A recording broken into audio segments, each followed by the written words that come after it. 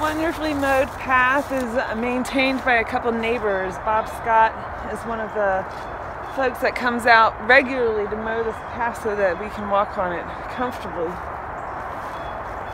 That used to be completely impassable, like what we see here to the left, but we had some volunteers come in and take out the invasive species like kudzu and privet, um, and it creates this really lovely place to sit and enjoy some uh, some wildlife.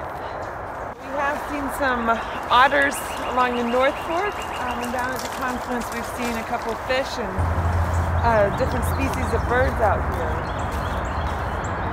This is a wonderful bird habitat. As we clear out the invasive species, we've got to be really mindful not to clear out all the uh, all the vegetation along the bank. The root systems really hold the bank together.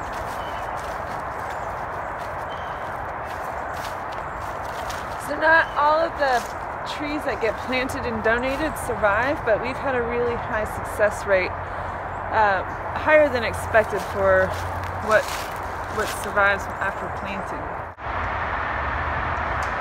So here's where we've replanted some chestnuts. Um, last summer, some chestnuts were stolen, and we've had a lot of support to get some more chestnuts put back in. The Northwood Garden Club has been very helpful.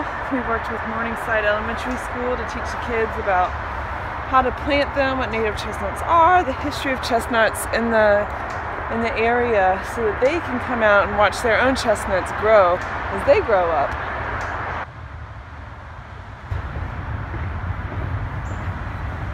So we are coming up on the 400 overpass.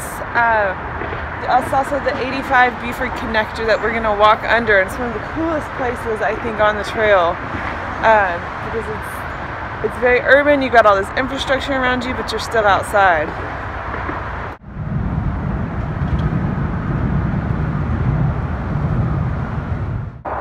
So just a half a mile uh, down the trail from the Cedar Chase condos is where we get to the confluence of the North and South Fork of the Peachtree Creeks.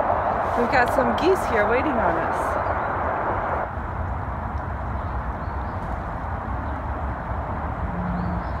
Adina Drive, which comes off of Piedmont and Tower Liquor, is on the other side of the North Fork branch of the Peachtree Creek.